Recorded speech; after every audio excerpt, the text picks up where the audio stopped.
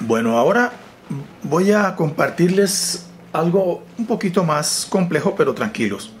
Ya vamos a abordar no tanto los acordes tríadas, sino un poco los acordes cuatríadas, es decir, de cuatro notas. Entonces observen acá, un acorde tríada, como su nombre lo indica, pues tiene tres notas. La raíz, la fundamental, si estamos en Do, es Do. La tercera, en este caso, es una tercera mayor. Estamos hablando de intervalos. Do, Mi. Entre Do y Mi hay dos tonos. Do, Re, Mi. Do, Re, Mi. Esta es una tercera mayor en interválica. Sol. Entonces el acorde de Do mayor es Do, Mi, Sol. Do. Entonces ahora intentemos tocar ya no acordes triadas, sino cuatriadas. Y a los acordes por ahora mayores vamos a agregarle una séptima. Esa séptima va a ser mayor. Entonces, una séptima mayor, para que la entiendan así de una forma fácil, es decir, que le bajamos un semitono a la fundamental o, a, la octava. Si yo estoy en Do, un semitono debajo de Do, pues será así. Entonces, sí al aire. Entonces, Do mayor con séptima mayor se, se tocaría en guitarra así. Pues de esta forma sencilla, básica, no es la única, repito, ¿no? Es decir, la quinta cuerda pisada en el tercer espacio, la tercera en el segundo, ah bueno, la quinta con el dedo 3, la cuarta cuerda en el espacio 2 con el dedo 2 y la tercera al aire, lo mismo la segunda al aire. Entonces me va a quedar así. Voy a hacer el arpegio.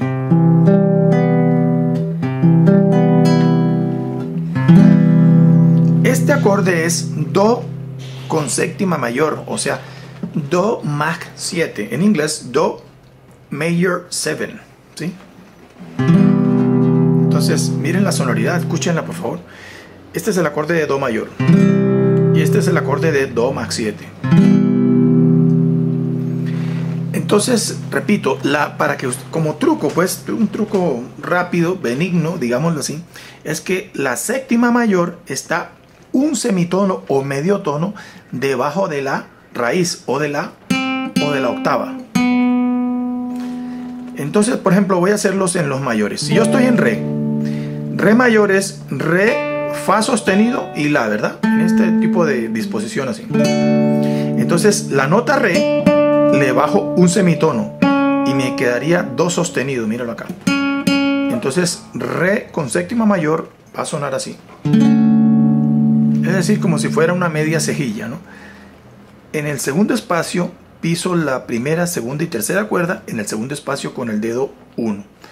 Y con el, digamos con la cuarta cuerda, toco así. Este es el acorde de Re Max 7. Algunos también le llaman Delta 7. Delta es como si fuera un triangulito, un triángulo. Quiere decir que la séptima es mayor, distinto a la séptima menor usted tiene que distinguir ahora ya otro tipo de sonoridad. Re mayor, Re con séptima mayor y Re, con, Re 7 con séptima menor. Entonces, su orejita debe estar adiestrada pues para identificar este tipo de sonoridad. Por ejemplo, Mi mayor. Entonces, Mi, miren la nota acá, bajo acá, me queda Re sostenido y este es el mi Max 7. ¿no?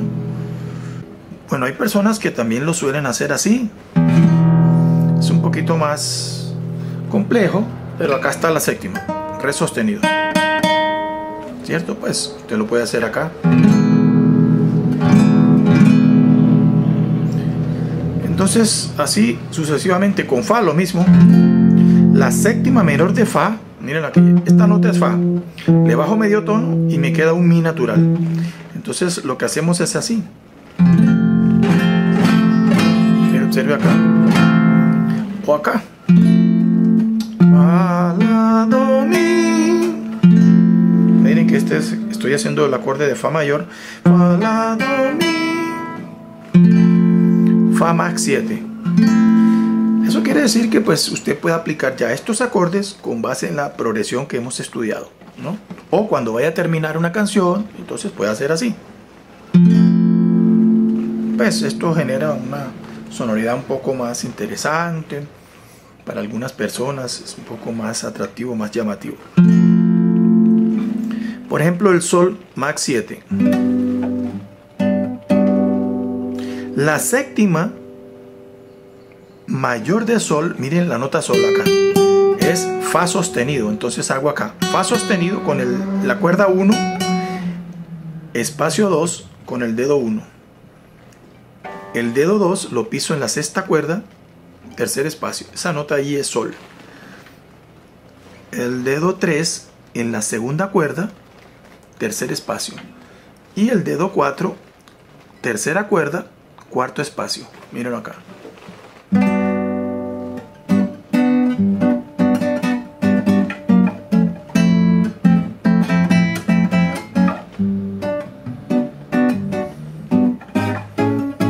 Estos acordes son Max 7. El La, por ejemplo, estamos en La mayor. Esto que les comparto, pues como les digo, es una forma muy básica, muy sencilla. Hay otras formas de hacerlos, pero pues recuerden que estamos en un nivel iniciación y vamos gradualmente de menos a más. Entonces usted tiene La mayor, ¿cierto? La séptima, miren la nota La acá. Usted busca la fundamental y le baja un semitono. En ese momento no, no se llama La, La bemol, sino Sol sostenido. Esa es la séptima mayor. Porque yo estoy en la. La, si, do, re, mi, fa, sol. ¿Cierto? Entonces esta nota aquí es un sol sostenido. Es como si fuera un La 7, mírenlo acá, como si fuera un La 7, pero ahora el dedo 1 lo piso en la tercera cuerda, primer espacio. Y ahí me genera un La con séptima mayor o La max 7 o La delta 7. ¿No? Esos son los acordes con séptima mayor. Entonces, si este dibujo lo tengo acá como modelo, yo podría decir que también esto es un Do max 7 acá. Simplemente coloco la cejilla en el tercer espacio y hago como si fuese el dibujo de La max 7. Entonces, todos estos acordes van a ser max 7. Esto será Re, porque la quinta cuerda es la que me determina el nombre. ¿Cierto? Re max 7, Mi max 7, Fa max 7. Bueno, pero por ahora hagamos lo sencillo. Do max 7. Así o así. ¿Cierto? Bueno, entonces eso para en cuanto a los acordes mayores. Ahora, en los menores, ¿sí? Vamos a encontrar por ahora séptima, no mayor. Sí, claro que en los acordes menores también hay séptima mayor. Pero por ahora vamos a hacer séptima menor en los acordes menores. Por ejemplo, miren acá, yo tengo la menor. Vamos a empezar con la menor, que es el más fácil. Yo tengo la menor. Entonces la nota la, miren acá, la nota, la nota. Este es el acorde. ¿Cierto? Digamos con la menor. Para hacer una séptima menor, séptima menor, siempre las séptimas menores están un tono debajo de la raíz. Ya usted sabe que es un tono, dejando un espacio de por medio. Esos son tonos. Pero semitonos es no dejando espacios, sino seguidos. Entonces, si yo tengo la aquí, al bajarle un tono, me quedaría sol, la nota sol. Entonces, la menor 7 sería así.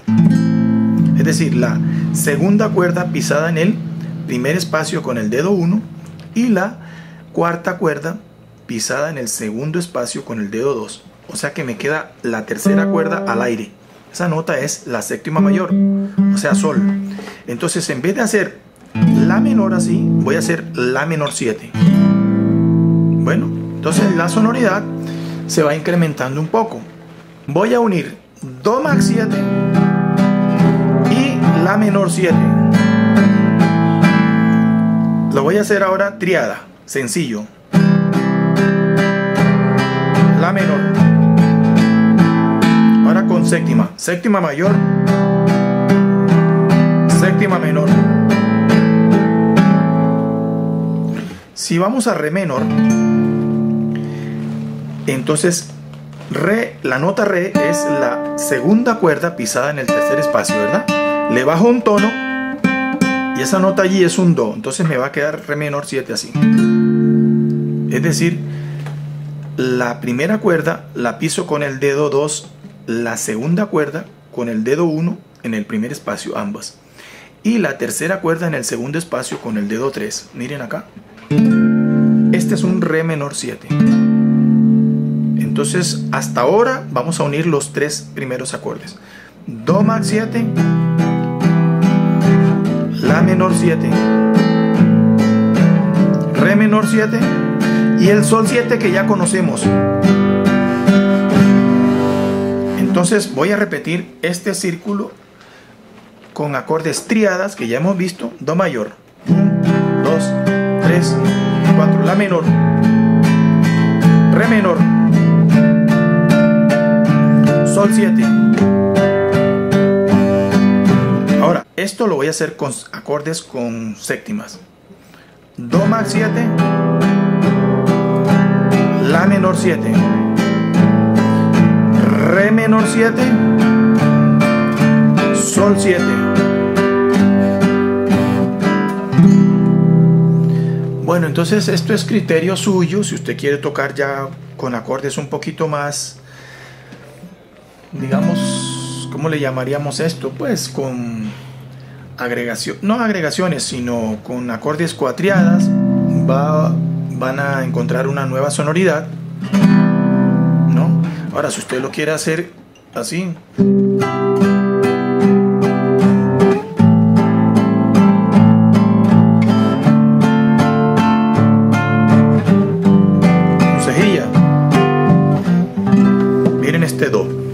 Este do que está acá es, bueno, pise en el tercer espacio cejilla. Usted ya sabe que es cejilla, todos ustedes saben que es cejilla.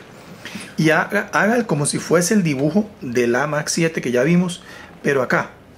Entonces, este es el acorde de Do Max 7. No olviden que el bajo principal es desde la quinta cuerda porque esa nota allí es Do. Entonces, si yo quiero hacer un Do max 7 y un La menor 7, en vez de hacer el La menor así, ahora quito el dedo 4 y me queda así. Este, en este momento este es un La menor 7. ¿Ok? La menor 7. Estoy pisando la nota Sol. Mírenlo acá.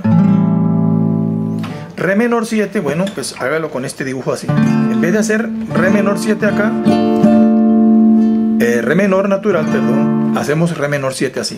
Quito el dedo 4 y me queda este dibujo así. Sol 7, pues con cejilla acá. Así o así. Entonces me queda así. Entonces voy a hacer el círculo así. 1, 2, 3, 4.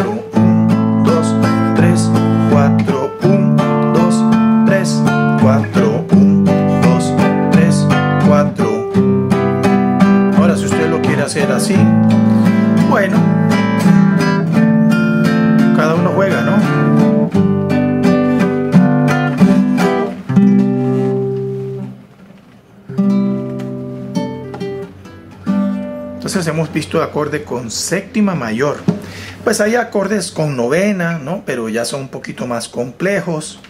Con novena mayor quiero decir. Por ejemplo, este es un acorde Max 7 9. Entonces ya estos acordes se utilizan sobre todo, no quiere decir en cualquier contexto, pero son más como afines para el bossa nova, el jazz, los boleros feeling, etc. Entonces ya son acordes quinteadas, no cuatriadas, sino quinteadas de cinco notas. Entonces yo voy a hacer, por ejemplo, a ver qué les digo. Do con séptima mayor y 9. Do más 9. Por ejemplo, yo podría hacer eh, un a ver, se me ocurre La menor con oncena agregada. O la menor 11. Entonces estos acordes son un poquito más complejos. Re menor 7. Sol, por ejemplo, con quinta aumentada. O, no sé, trecena o novena. Bueno, estos acordes son un poquito más complejos, hay que estudiarlos. Y hay muchas formas de, de hacer los, mapas, los modelos en la guitarra. Entonces traten de aplicarlos en el estilo bolero ranchero o en cuatro cuartos.